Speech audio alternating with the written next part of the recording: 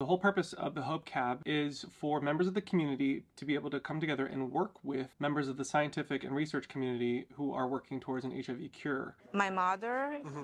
lived with HIV, so I had this emotional connection mm. with this also. I'm a ID physician and I'm working in the clinical research center and in lab too. Spironolactone is a Did you say that drug. It's a drug that we are studying to see if it can perform this kind of activity. Ah. I'm a um, ID physician. I work at the University of Sao Paulo. But I got interested in HIV because I had some extensive interactions with HIV infected people in China while doing volunteering works.